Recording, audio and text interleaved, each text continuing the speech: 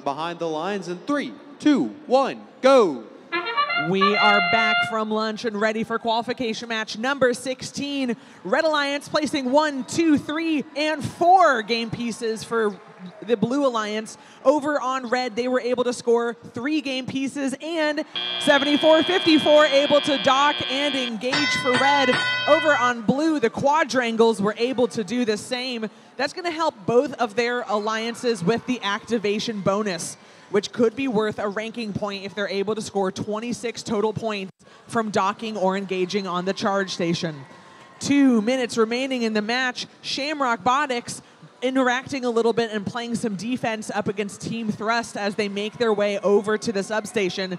Shamrock Botics grabbing a cone from their human player. Meanwhile, their partner, the Quadrangles, lining up, scoring a cone on a high node for blue. That's going to clinch them five points. Their partner, Shamrock Botics, lining up and scoring another cone for blue. That's going to get them a link as well a minute and a half remaining in the match, and blue is winning. Red needs to fight to catch up.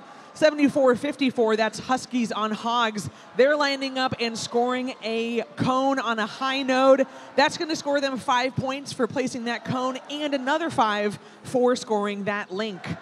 A minute and 10 seconds remaining. Team Thrust scoring another link for the Red Alliance. Red trying to catch up, but Blue is running cycle after cycle after cycle.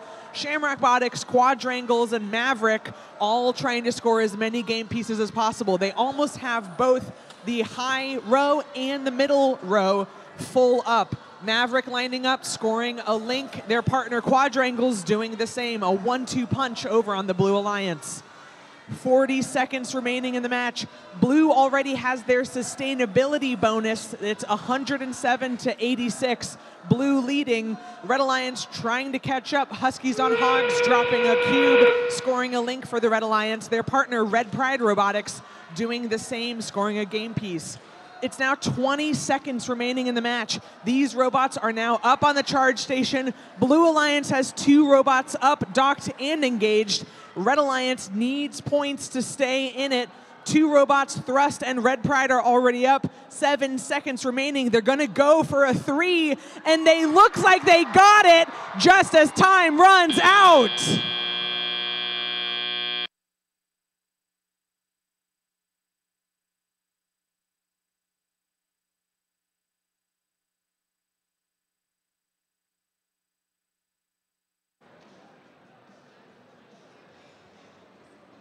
We've got a score for match 16. It's going to blue.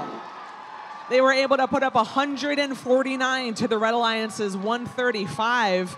All possible ranking points were scored in that match. Two to blue for winning the match, and one each for the activation and the sustainability bonuses with both both alliances were able to score. Congratulations to our winning three blue robots.